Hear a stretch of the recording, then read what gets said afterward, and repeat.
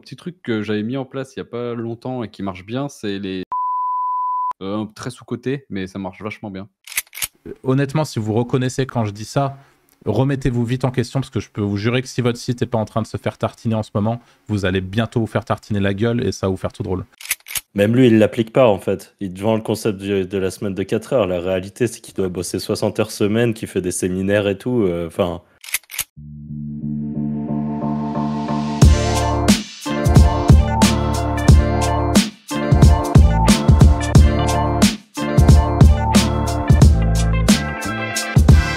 Bonjour à tous et bienvenue dans ce nouvel épisode de Wizards Podcast. Aujourd'hui, comme d'habitude, je me retrouve avec Anto et Franck. Salut les gars.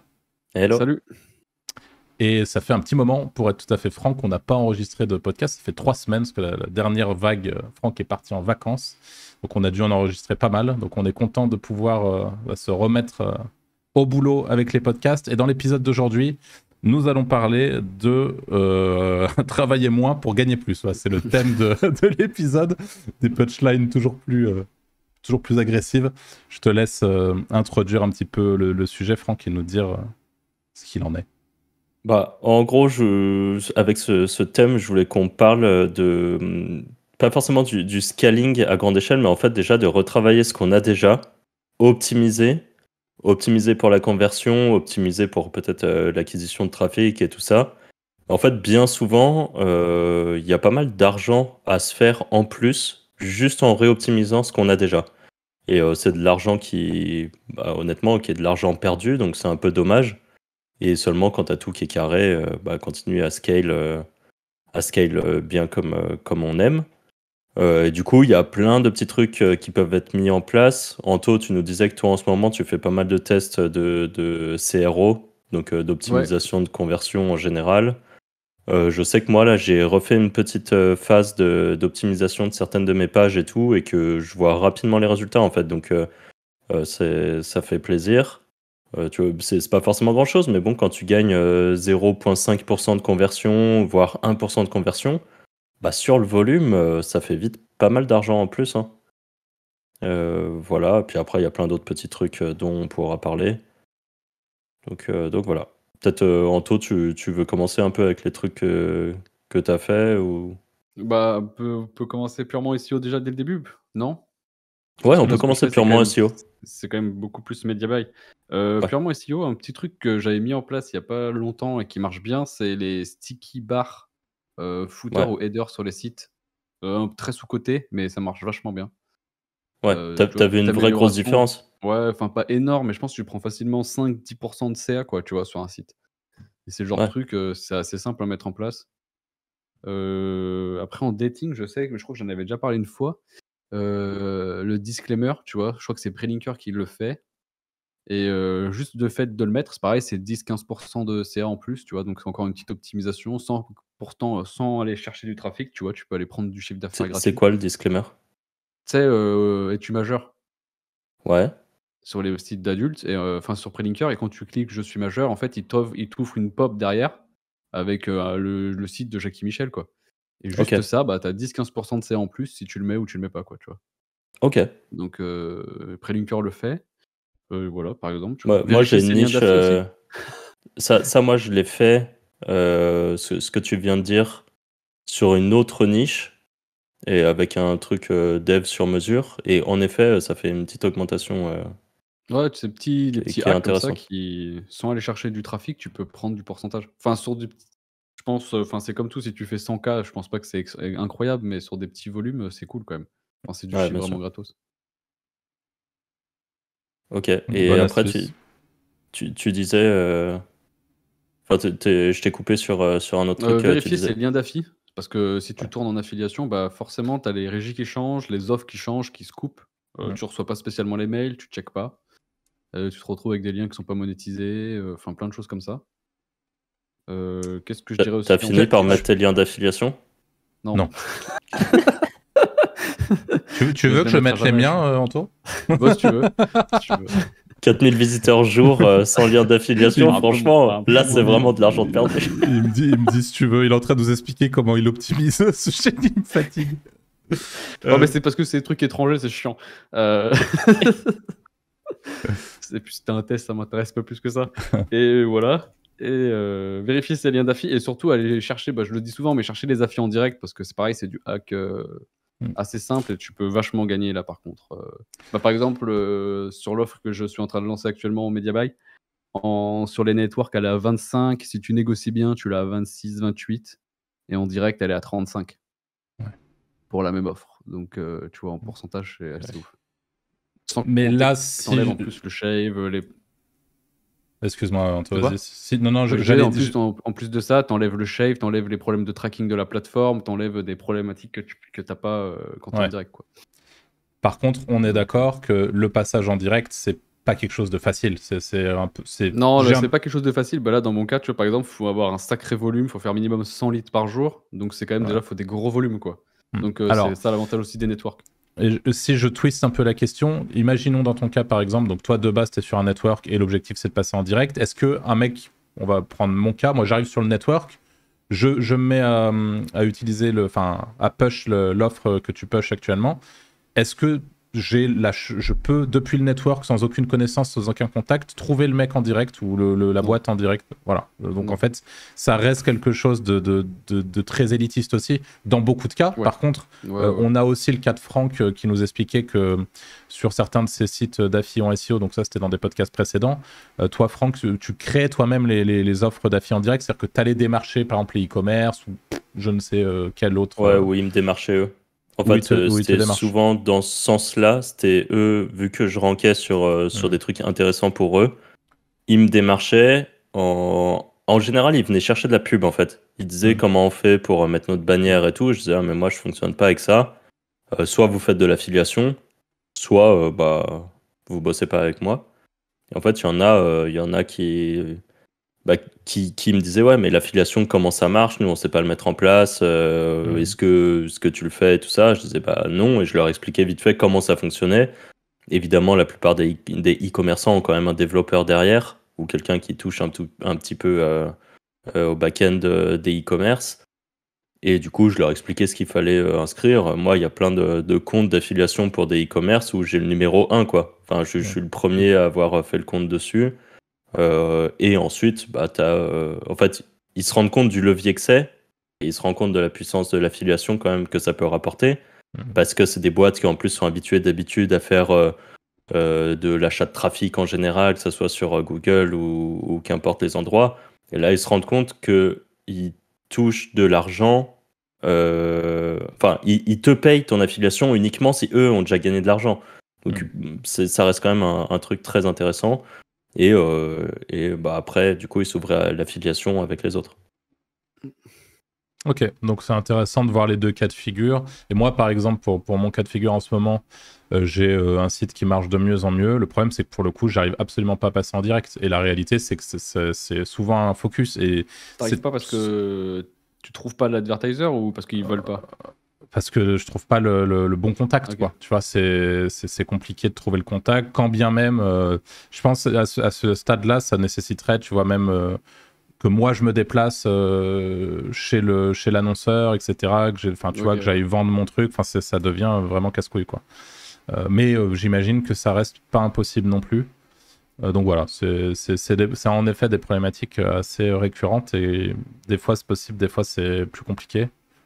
Mais euh, c'est sûr que le passage en direct, c'est déjà à lui seul une Des sacrée fois, euh, optimisation. parfois, c'est pas spécialement bien aussi. Ça dé- C'est toujours la même chose, ça dépend ce que tu fais. Mais l'avantage aussi des networks, c'est qu'ils peuvent t'autoriser à faire des choses qu'en direct, t'as pas le droit. Hmm. C'est un peu aussi la... selon les niches. euh, Parfois, il vaut mieux être euh, sur le network. Euh, tu as fait le petit tour de ce, que- ce dont tu voulais parler, Anto, par rapport à tes. Euh, Ouais, ouais, À ouais. tes petites Je- je- Non, pour moi, le meilleur, ah, le vraiment truc, je le dis toujours, ah, c'est vraiment euh, là où j'ai vraiment gagné, c'est à chaque fois, c'est quand je passe en direct, quoi. Mm. Vraiment, le truc pour optimiser l'existant, c'est vraiment ça. Surtout quand tu travailles en affi, quoi. Moi, j'ai une petite Ouais. question pour vous. Bah, pour Anto, t'en as parlé, mais on le sait aussi euh, bah, avec, euh, dans- avec euh, à Malte, quand on était à Malte, on, on avait à un moment des très gros volumes de liens d'affi, euh, tu vois, existants sur nos sites. Et c'était une misère déjà pas possible à traquer. Donc là, j'imagine qu'aujourd'hui, moi, tu vois, j'ai, fait un petit Zeno qui me permet d'aller récupérer sur chaque plateforme mes trucs et de me push ça dans mon Discord. Donc moi, je suis content. Mais par contre, c'est vrai que l'autre problématique, c'est les networks qui du jour au lendemain, sans prévenir, changent le lien d'affi. Genre, il y a la même offre, mais juste en fait, ils vont te niquer ouais, parce que quand tu fais euh, l'avis sur un produit, par exemple, tu te retrouves avec ton lien d'affiche à sauter et en fait, bah, l'utilisateur, il va juste euh, faire un, il va juste faire un retour en arrière et aller directement sur l'offre. euh, Ouais, donc ouais. c'est euh, voilà, c'est c'est compliqué. Comment est-ce que toi aujourd'hui tu, tu- tu arrives à monitorer si tu le fais en taux T'as fait un Zeno pour ça aussi ou? Avant, je faisais un truc. euh, non, en, en- vrai, maintenant, j'utilise pas mal Bimob, mais maintenant, j'utilise MaxConv. euh, Bastien il me l'avait conseillé, donc je suis en train de toucher, toucher un peu à ça. Mais l'avantage avec Bimob, c'est que vu que j'ai tous mes networks, je vois direct si j'ai des, des journées à zéro sur des liens ou des offres. Ok, ouais. Donc, ça me permet de check instant si j'ai des couilles. Ok. Donc, euh, après, la, problématique, c'est que c'est viable que sur les networks, parce qu'il n'y a Hmm. pas tout le monde qui fait des post-back pour euh, traquer avec Ouais. les, les régies. Quoi. Alors Ah, c'est ce que tout, j'allais dire. Parce qu'en fait, quand tu es en direct, t'as pas de post-back. Ouais, Enfin, tu- moi, ouais. dans mon cas, ça n'existe pas les post-back. et pour info d'ailleurs, pour tous ceux qui se demandent là, ouais, mais c'est quoi Bimob et tout, euh, Anto, t'as fait un thread sur Twitter il y a de ça quelques mois. Ouais, mais euh, euh, euh, maintenant, il vaut mieux utiliser MaxConf parce que Bimob, ils ont changé leur, euh, leur offre gratuite et elle est complètement nulle. Donc, Ok. euh, si vous, voulez utiliser un tracker gratuit, euh, MaxConf, c'est gratuit jusqu'à 150 000 clics par mois. Donc, pour les SEO, c'est largement suffisant. Quoi. Ok, top. Et moi, juste pour, euh, par rapport à ça, en gros, mes plus grosses affiliations, je les check quasi quotidiennement. Par contre, j'avoue que tout le cumulé de petites affiliations que j'ai, bah, en fait, si c'est au moment où je fais ma facture, donc euh, mensuellement, où je vais éditer ma facture, que je découvre s'il y a un moment il y a eu une couille. Donc parfois, je perds euh, trois semaines de lead. Moi, je perds Après, un, c'est un des- an parfois. Ouais, voilà, tu vois, c'est c'est un peu le problème. Euh, bah, concrètement, euh, c'est vu que c'est beaucoup d'affiliations en direct et que euh, je n'utilise pas Zenoposter ou d'automatisation en général de ce style, euh, j'ai aucun truc qui va me rechercher les, les infos. Donc, Ouais. c'est pas forcément bien, hein, mais, mais voilà. Toi, toi, tu le fais, euh, Arthur? Tu traques beaucoup Non, ou- non, non, non, moi je me fais toujours, euh, toujours niquer et je voulais parler d'un autre problème, euh, je dis toujours parce que je pense qu'on s'est bien fait niquer, euh, notamment à Malte, euh, avec ce genre de, de, de problématiques, de, de, de liens d'affi qui, qui sautent. Ou... Et là j'ai un autre problème en ce moment, c'est que là j'essaie pour, donc toujours dans cette thématique de travailler moins pour gagner plus. J'essaye de monétiser mieux mais les sites que les sites de test que j'ai lancés en début d'année dernière, euh, qui avaient vocation à faire de, la vente de liens très globalement, parce qu'il y a eu beaucoup de tests, il y en a qui sont plutôt bien partis. Euh, et j'essaie aujourd'hui de monétiser de manière un peu plus large euh, ces sites-là, donc en intégrant euh, du, guide d'achat assez, euh, assez traditionnel, euh, ou en intégrant un, plus- un petit peu d'affi quand c'est possible. Et euh, voilà, j'ai tout un, tout un truc avec ça. Et le problème, c'est que j'arrive à me positionner sur certaines affis qui pourraient être intéressantes. Mais en fait, une fois positionné, les, les, les gens derrière les affis en question font les morts. Et en fait, je n'arrive pas des- par- parfois à, à me, à choper l'affi sur un truc sur lequel je suis positionné, parce qu'en fait, la réalité, c'est... Ouais, pas mal. Ah, bah, t'as répondu à ta question. Mais euh, enfin, euh, c'est vrai, ça c'est ça c'est casse-couille. Donc la réalité dans tout ça, on en a déjà parlé dans un podcast, c'est qu'en fait il vaut mieux accéder à la fille avant même de lancer euh, son, son ses pages. Euh, Alors Ouais. moi j'ai un avis un peu différent là-dessus. Concrètement, euh, tu peux aussi faire le choix de les laisser venir à toi. Tu as fait un avis sur un produit ou qu'importe ce que c'est, un logiciel, je sais pas ce que ça peut être. Euh, tu ranks. Si ils font le mort, que tu essayes de les contacter 10 fois sur 10 adresses différentes et que tu enfin, qu'il n'y a pas de truc, tu mets un petit bloc en haut comme quoi tu recommandes pas ce produit, euh, que tu as un concurrent, euh, enfin pas un concurrent, mais par exemple tu dis bah moi j'ai testé deux trucs et en fait euh, je trouve qu'ils sont bien moins bien. Et souvent ça peut débloquer un petit peu. ouais, c'est clair. Tu, tu peux avoir quelqu'un qui vient te voir. Moi, je l'avais fait une affiliation qui avait décidé de me dégager du jour au lendemain, alors que j'avais trois sites et que je rankais 1, 2, 3. Bah, ils ont pas tenu bien longtemps. hein. J'avais mis des énormes disclaimers en haut en disant que c'était des scammers et tout. euh, euh, L'affiliation, au bout de deux jours, elle était réouverte. Bizarre. Ah bah ouais, bah ils sont trop cons. Non, franchement, il y a- il y, a des moments, tu, tu peux aller gratter un petit peu le truc comme ça, quoi. Je suis pas sûr que ça soit euh, le mieux euh, commercialement parlant. Je suis pas sûr que tu as des bonnes relations avec, mais bon. Après, ton Bon, après, euh, à partir du moment où ils te ferment tout et ils essaient de t'enculer, euh, t'es plus là Ouais. pour avoir des bonnes relations à un moment. Ouais, c'est- bien sûr, bien sûr. Euh, alors, pareil, on, a parlé, euh, je, je- je- je crois que c'est c'est Anto qui a donné deux, deux, trois petits tips euh, un petit peu. Bah oui, le, le, la sticky bar euh, qui, qui permet vraiment d'améliorer les conversions. Euh, moi, je voulais vous poser la question quels sont pour vous, si on, si on devait résumer sur, sur les doigts de la main, les, les, les points vraiment importants à mettre en place justement pour euh, améliorer concrètement une page existante et, vous, et enfin, en tout cas s'assurer que la, la, euh, elle est optimisée en termes de, de monétisation en tout cas? Euh, ne pas avoir peur de mettre beaucoup de call to action. En vrai. De- avec des grosses flèches et tout, en vrai, ça marche. Ouais. Enfin, c'est débile, mais ça marche. C'est c'est vrai. Ah non, mais c'est vrai. Hein, ultra 100% triste, vrai. mais ça marche. Euh, Plus, ton le bouton il sera clignotant avec des petites étoiles quand tu le survoles, et plus il y a de chances que Ouais. ça clique. c'est hyper triste, mais c'est vrai. Euh, ouais, déjà, c'est étape numéro 1. après, étape. euh, en vrai, euh, vas-y, Franck, t'en as d'autres? Ouais, moi j'en ai plusieurs. En vraiment, le top du top du top, je pense que c'est d'avoir euh, une vidéo en haut de, de, de la page. Ça marche pour le e-commerce, ça marche pour euh, de l'affiliation, ça marche pour tout. hein. Le SEO, Avoir, ça marche de quoi pour le SEO. Ça marche pour le ça, SEO. ça aussi. marche pour le SEO, mais euh, vraiment en parlant pure optique conversion, Ouais. une petite vidéo courte euh, de 15-20 secondes ou plus, enfin, c'est encore une fois, c'est en fonction du produit, mais si c'est un produit physique qui le montre, qui, et puis qui surtout dit à la voix et puis en, en texte avec des sous-titres, parce qu'il faut bien penser à mettre les sous-titres dans 100% des cas, qui dit qu'il y a une promo actuellement, qu'il faut cliquer sous le bouton qui est sous la vidéo, euh, sur le bouton qui est sous la vidéo, et ainsi de suite. Euh, ça, ça améliore bien. Euh, on le sait que les gens ne lisent pas, que les gens ont à peu près euh, 10 secondes d'attention grand max. Enfin, voilà, faut, faut réussir à trigger le cerveau en boucle pour pousser à l'achat. Pour moi, il y a la vidéo qui, est, qui serait en haut. Il y a d'avoir dès le haut de la page un petit bloc. Euh, ça, je le fais beaucoup maintenant, moi. Un petit bloc de quelques lignes en disant euh, vous cherchez l'avis sur ce tel truc, voilà en, ré- en résumé. euh, ce produit exceptionnel parce que blablabla, bla, bla, bla, profitez maintenant de euh, 20% de réduction en cliquant ici. Vraiment, dès le haut du texte, et en fait, ça clique. Ces boutons-là, ils cliquent. Ceux qui l'ont beaucoup fait, c'est VPN Mentor, qui, est, qui est un site que, que, bah, qui s'est vendu extrêmement cher à l'époque. Je sais plus combien de millions c'était, mais c'était une somme indécente. Et eux, en fait, leur, euh, leur truc, c'était de jamais. euh, En gros, qu'importe où tu scrollais, il y avait un CTA quelque part.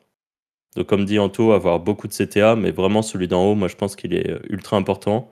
Ouais. Donc, il y a ça, euh, la vidéo, les prix barrés, qui reste toujours quelque chose qui trigger, euh, qui trigger en fait. Et par exemple, si euh, pour une quelconque raison, vous avez un code promo euh, pour, euh, pour un produit que vous mettez en avant, ou si le site fait des promotions, et ben vous, sur votre site d'affiliation, par exemple, vous mettez directement le prix barré. Ça valait 100 euros et là, il est à 87 euros. Bon, voilà, prix barré, même si officiellement le truc est à 100 euros. Alors ça, ça demande un petit peu d'aller retravailler ces pages de temps en temps. Euh, mais pareil, ça, je l'ai mis en place et ça marche euh, plutôt bien. Et également sur les e-commerce, ça marche vachement bien. Euh, moi, il y a pas mal de, de, marques que je suis qui sont en perma promo. Et en fait, ça marche trop bien. Par exemple, dans le monde de la muscu, MyProtein, ils font ça. MyProtein, ils sont jamais sans un code promo de moins 30 ou moins 40%. En fait, c'est juste que leur prix, ils les montent à la base et que leur vrai prix de vente, c'est celui qui est en promo. Mais Ouais. dans la tête des gens, ça, euh, ça trigger, ça donne envie de, euh, d'acheter. Et ça, ça marche, euh, ça marche tout le temps. euh, Je trouve même assez. Enfin, d'un côté, tu peux avoir un côté un peu cheap en faisant ça. Peut-être qu'il y a des gens qui veulent pas fonctionner comme ça. Mais par exemple, dans le monde du dropshipping, tout le monde sait que ça fonctionne comme ça. Et je pense qu'il y a beaucoup de dropshippers qui gagnent bien mieux leur vie que des marques de e-commerce implantées normalement. Ouais. Euh, voilà. Et. Ah si, j'avais noté deux autres trucs. euh, du coup, on sort du, euh, du total des doigts de la main, vu que ça fera 6 points, je pense. Putain, t'abuses. Et- Ou alors c'est une grande main. Et, et j'ai marqué euh, moins de texte, mais plus d'images. Et encore une fois, en fait, nous, avec nos cerveaux de SEO, on est tout le temps en train de mettre des blocs de texte de... dans tous les sens parce qu'en fait, euh, on a plus envie de plaire à Google que de plaire euh, à la personne qui va acheter, ce qui est complètement débile, hein, parce que il y a un moment où il faut bien optimiser. Et en fait, mettre plein, je l'ai fait là sur une page de vente, enfin sur une page d'affiliation que j'ai où j'ai repris les, un peu les infos clés de, euh, du produit que je vends.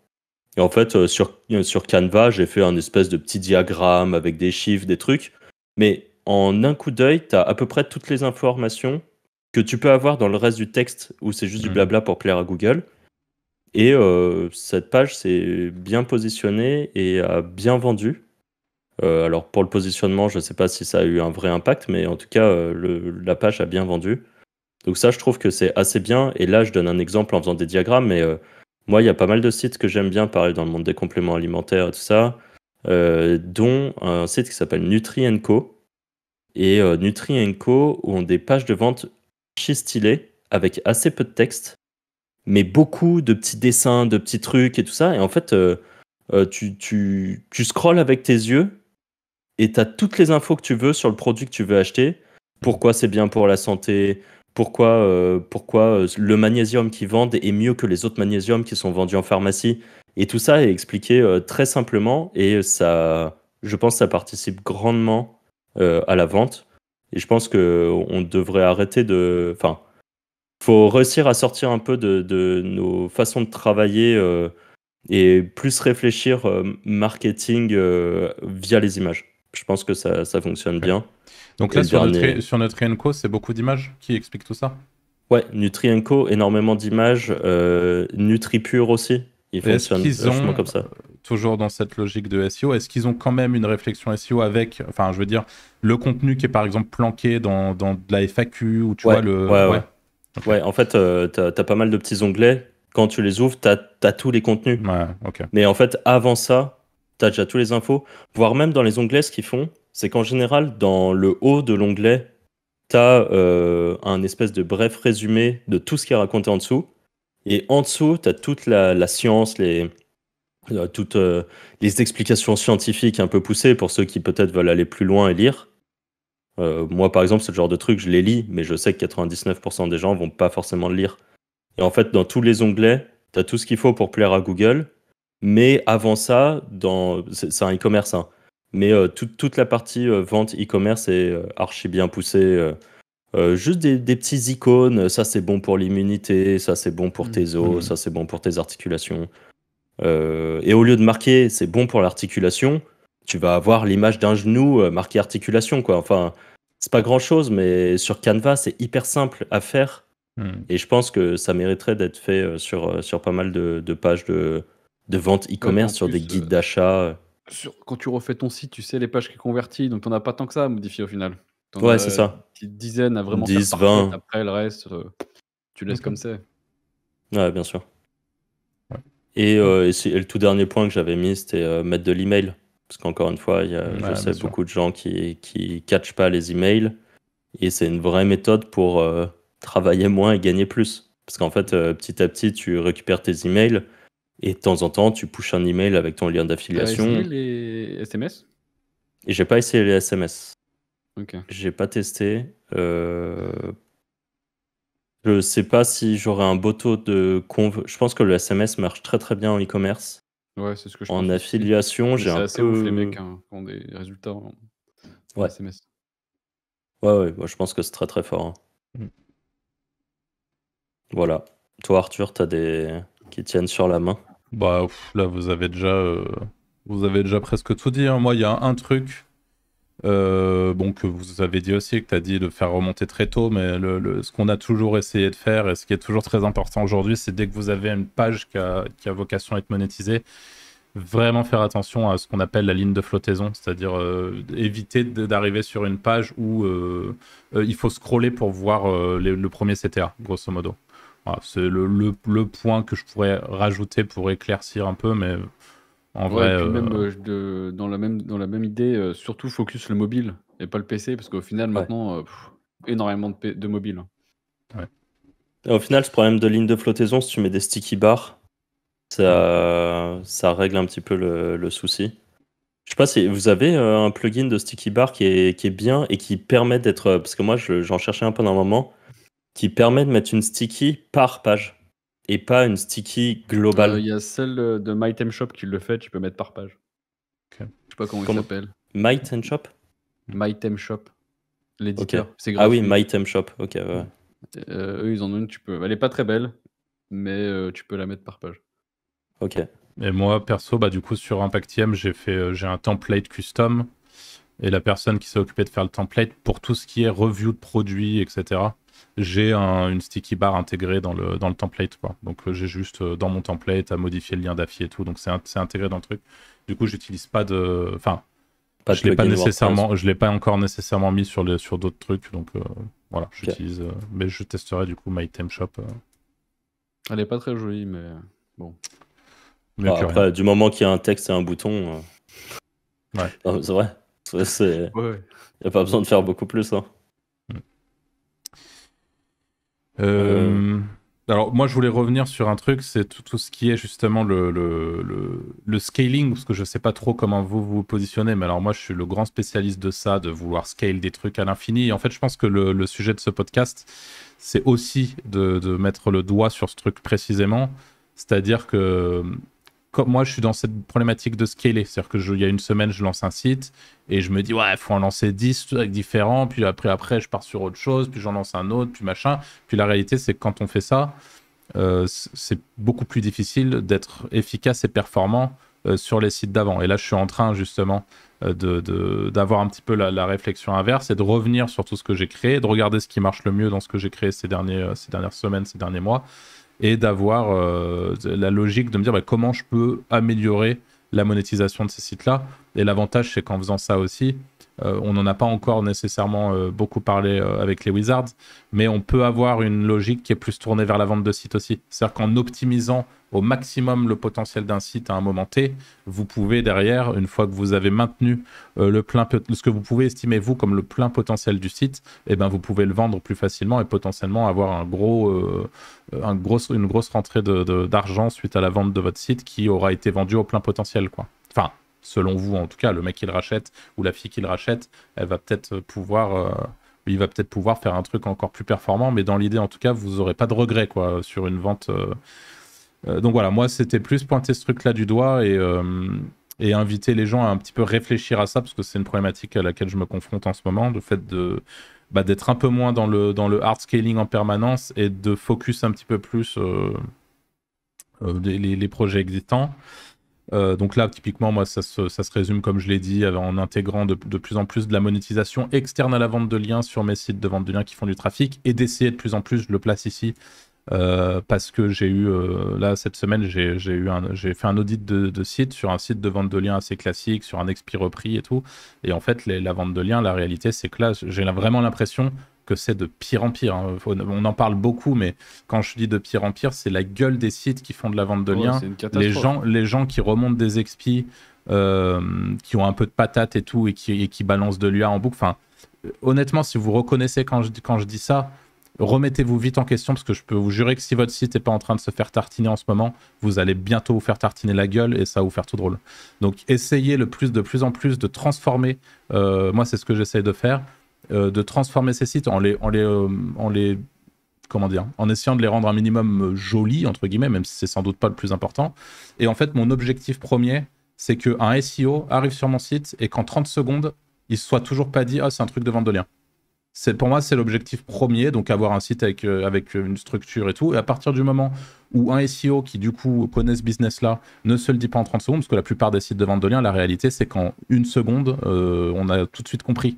Euh, vous avez des vieux trucs de catalogue avec les articles qui, s'ajoutent les uns aux autres. Il n'y a, aucune plus-value dans, ce qui est raconté sur les contenus. Il n'y a aucun lien. D'un, jour, un jour, ça va parler de, de, voiture. Le lendemain, ça va parler euh, de, complètement autre chose. Euh, dans, le dans, le maillage interne, il se passe rien. Enfin voilà, il y a énormément de gens qui bossent comme ça, et je jette pas la pierre parce que j'ai beaucoup, beaucoup bossé comme ça aussi. Et en fait, aujourd'hui, avec du recul, euh, ce que je vois, c'est qu'il faut, euh, bah, comme d'habitude, essayer de faire un peu plus de qualité, essayer de se spécialiser un petit peu plus et essayer d'aller chercher, euh, sémantiquement parlant, le plus de mots-clés possible autour des thématiques que vous voulez cibler pour de la vente de liens.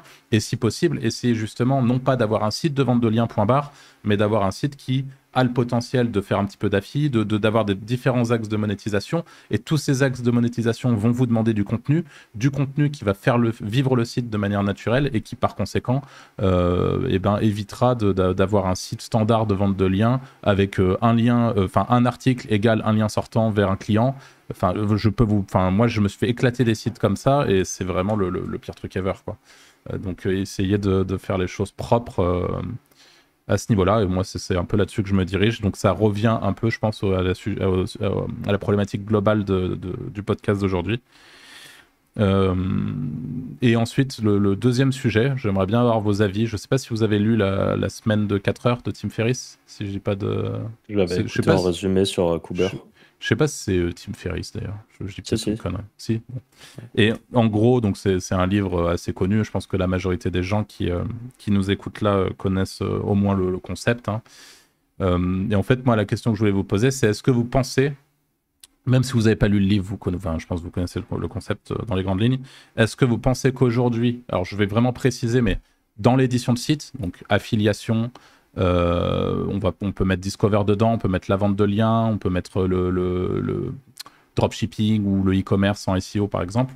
Est-ce que cette semaine de 4 heures, elle est possible? Et si oui, est-ce qu'elle est possible sur le long terme? Euh, Si tu choisis bien les niches, ouais, elle est possible sur le long terme. Ok. Ok, moi j'ai un point de vue différent du coup. Pour moi, c'est pas viable long terme euh, si tu. Enfin, ça dépend quand tu dis long terme. Mais genre, euh, sur deux, ans. trois ans, ouais, c'est faisable. Ouais. Deux ans, ouais. Cinq ans, non. Ouais, deux, trois ans, c'est faisable. sans, toucher au site. Hein. Déjà, au bout d'un an, je pense que tu commences à sentir que, que le site a rien fait, le site il va peut-être commencer à faiblir. En fait, si tu veux prendre 2000 euros par mois au, à année 3, faut que tu démarres le projet à 8. En gros, c'est ça. Ouais, voilà. Mais euh, ça tient, quoi ça tient, ça tient dans la pente descendante quand même. C'est pas oui, tenir. c'est déjà, c'est déjà bien. de la petite survie, quoi. Ouais, mais je veux dire, c'est déjà propre de tourner 36 mois derrière sans rien faire, tu vois. Ouais, bien sûr. en soi, ça tient. Après, moi, ce concept de semaine de 4 heures, on, le sait que c'est. Euh, même lui, il l'applique pas en fait. Il vend le concept de, la semaine de 4 heures. La réalité, c'est qu'il doit bosser 60 heures semaine, qu'il fait des séminaires et tout. Euh, enfin, c'est dans, dans, la vraie vie, je pense que c'est possible. Ouais. Avec. Euh, si on prend juste notre cas à nous, hein, d'éditeur de, site, tu as un ou deux sites, tu, sur 4 heures, tu t'achètes. Euh, tu, tu, fais un lien par, euh, sur tes sites, tu fais un petit article. Bah, tu peux le faire tenir assez longtemps et tu as bossé 4 heures. par contre, si tu commences à avoir 10, 15, 20 sites, impossible en fait, ça dépend combien tu veux par mois, tu vois. Genre 1500, 2000, en vrai, tu les fais. Ouais. Ouais, oui. En fait, c'est plus une question de quel, tu veux en revenu mensuel. Ouais, c'est vrai. Parce que si tu me dis 15 par mois avec 4 heures par semaine, je me dis chaud, là, par contre. Mais en vrai, ah. 1500, 2000, ouais, c'est faisable. Arthur, toi, t'es. Alors, moi, je, je, pense que alors, je suis. Euh, complètement euh, d'accord avec le. Enfin, je, contredis surtout pas Anto et je suis persuadé qu'il euh, serait tout à fait capable de gagner 1005-2000 euh, en ne branlant absolument rien. Là-dessus, j'ai aucun doute. Par contre, je rejoins plus quand même l'avis de Franck parce que, d'expérience autour de moi, on, c'est quand même quelque chose qu'on a vu. Encore une fois, on a, le recul. Nous, on a, on a été vraiment pur affilié pendant, pendant des années et on a le recul même, tu vois, en s'étant barré de Malte en laissant des trucs un peu en mode tournée evergreen, ouais, t'inquiète, euh, ça. De, de voir que la réalité, c'est que les sites se, fracassent la gueule. Euh, donc, mm. je pense par contre que sur certaines niches, sur certains euh, axes de monétisation, sur certains trucs, et par exemple sur des très bonnes offres en rêve cher, quelqu'un qui a tourné très très fort à un moment T avec des offres en rêve cher vraiment énervées, vraiment chouettes, va être capable euh, sans doute de euh, peut-être il y a des gens qui tiennent depuis exemple je vais aller encore plus loin dans l'exemple les mecs qui faisaient de la voyance il y a, a 10-15 ans je suis persuadé qu'il y en a encore beaucoup d'entre eux, juste en rêve cher, euh, ils sont toujours très très bien. Hein, et eux, ils ont strictement rien à branler.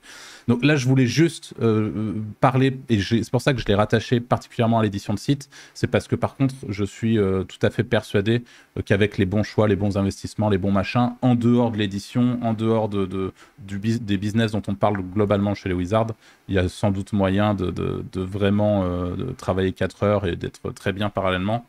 Mais en tout cas, en édition, sauf que j'appellerais moi des exceptions sur certains trucs euh, spécifiques comme ça, je pense que c'est quand même particulièrement difficile euh, et, encore plus pour les débutants. Donc là, euh, gros disclaimer, si vous êtes aujourd'hui débutant dans les business web de manière assez large et dans l'édition de site, le SEO, franchement, vous verrez pour Focus la semaine de 4 heures d'ici 2-3 ans, quand vous aurez vraiment une grosse turbine qui engrange et des process qui, qui vous permettent d'automatiser un peu tout ça. Parce que la réalité, c'est que là, c'est plus des semaines de 60 heures qu'il va falloir, qu'il va falloir faire euh, d'ici là, en fait. Donc, euh, l'objectif, c'est surtout pas de se dire, euh, ouais, c'est possible, c'est facile, et, et sans rien faire, on peut faire du blé. Parce que parce que si vous débutez, c'est absolument pas le cas. c'est surtout qu'en fait, c'est à force de faire, tu connais des mots-clés. Je pense que Franck, c'est pareil. Au bout d'un moment, tu connais les mots-clés où tu pourrais tourner en semaine de 4 heures. C'est surtout ça, en fait. C'est qu'à force de faire, tu sais, tu as des micro-niches où tu peux aller manger sans trop te faire chier. Mais en faisant des milliers d'heures avant. Ouais, c'est ça. Ouais. Clairement, c'est pas en étant débutant, en bossant 4 heures. Enfin, tu tireras nulle part. Mais ça, je pense que les, les... ceux qui se lancent et qui sont des vrais charbonneurs l'ont assez vite compris. Euh, tu vois, ça me fait penser à, Flo qu'on a rencontré euh, mm. pendant le Black and White, euh, qui est bah, du coup qui était sur Wizard et, qu'on a rencontré en vrai. Mm. Flo, c'est un pur charbonneur, et c'est ce qui fait que il y arrive et que en un an et demi, deux ans, il a mm. des franchement résultats sacrément honnêtes. Et mais par contre, il charbonne et peut-être que là, il engrange la connaissance et peut-être que d'ici quelques années, il pourra, pour certains sites, les passer euh, un peu euh, en, second, euh, second plan et travailler moins. Mais, mais comme tu disais, Anto, c'est quasi sûr que ça va descendre et qu'à part si tu es ah parti très haut, bah, tu vas arriver à un, bon SMIC français, SMIC, voire bon salaire. Mais il faut pas espérer Enfin, comme tu, tu, tu tournes à 8K par mois, faut pas espérer d'un seul coup de dire bah, je vais bosser euh, une heure par jour et garder 8K par mois. C'est improbable. C'est sans doute possible dans des. C'est C'est déjà bien, propre, tu vois. Enfin, ouais, bien sûr, c'est propre. Ouais, ouais, non, mais bien sûr. Mais euh... ouais, faut, faut rester conscient qu'il y a un mm. moment où si tu travailles pas, et bien sûr, il y aura toujours des exceptions. Ça se trouve, il y a des gens qui nous écoutent euh, qui, qui justement du rêve cher. Mais moi, le rêve cher, je le mettrais un peu à part. C'est juste que tu as utilisé une méthode de monétisation à un moment qui fait que, que ensuite tu peux. Mais c'est quand même un cas ultra particulier. Euh, parmi ceux qui nous écoutent, il y en a qui font de la vente de liens. Bon, dans ce genre de domaine, je pense que si tu arrêtes de bosser, tu arrêtes de gagner de l'argent concrètement. C'est sûr. Ah, pas, mais encore une fois, pour moi, tout peut être délégué, surtout sur de la vente de liens. Et, c'est pas difficile, honnêtement. Ouais, mais ça se délègue, mais as toujours, tu dois gérer des humains. Enfin, on le sait que ça prend du temps, en fait. c'est juste... C'est pas miraculeux, quoi qu'il arrive, mais. Voilà, ouais, ça. T'es pas obligé d'y passer, toi, 12 heures par jour, quoi. C'est. Euh, non, mais c'est. Euh, en fait. Tu, tu, vas passer 4 heures par semaine, peut-être, à gérer des humains qui vont faire du taf pour toi. Mais euh, ça reste des humains, et plus t'en as, et plus il va y avoir des problèmes, des erreurs, des trucs. Et au bout d'un an où tu as complètement délégué le truc, tu vas te rendre compte que tout ce qui a été fait, c'est de la merde. Euh, assez souvent, on a quand même un pote en commun avec qui euh, euh, on a discuté de ce genre de truc. Et, par exemple, qu'il y avait un média bailleur interne qui s'est rendu compte au bout de quelques temps qu'en fait, il faisait n'importe quoi. Tu vois, il y a un moment, tu, tu peux pas trop déléguer. Quoi. Tu peux déléguer pendant une période et après les gens se relâchent ou Ouais, ou ça dépend sur quoi. Ça dépend sur quoi et ça dépend sur qui tu tombes aussi. Hein. C'est aussi une, réalité. Hein. C'est vrai aussi. Euh, Parce que dans- quand tu tombes sur des, sur des pépites, euh, ça peut être aussi le truc inverse. Quoi, hein. Ouais, bien sûr. Et merci d'avoir écouté euh, ce podcast euh, jusqu'à maintenant. On vous rappelle qu'en description, vous avez le lien d'inscription vers notre newsletter euh, avec bah, des, des choses très chouettes qui arrivent dans la newsletter très bientôt. Donc n'oubliez pas de vous inscrire. Et on vous dit, euh, bah, pareil, tout, tout ce qui est petites étoiles sur Spotify, sur les plateformes de podcast et le petit commentaire, le petit like. Vous êtes un peu radin d'ailleurs sur les likes sur YouTube, j'ai remarqué. Des fois, on a des podcasts qui, pourtant, on sait que ça vous plaît parce que vous nous faites des retours euh, outre mesure, mais les petits likes, ça, ça, enfin, nous- ça va nous aider aussi pour l'algorithme, donc n'oubliez pas. Et on vous dit euh, tout simplement à la semaine prochaine pour le prochain épisode. Salut Ciao, ciao. Salut.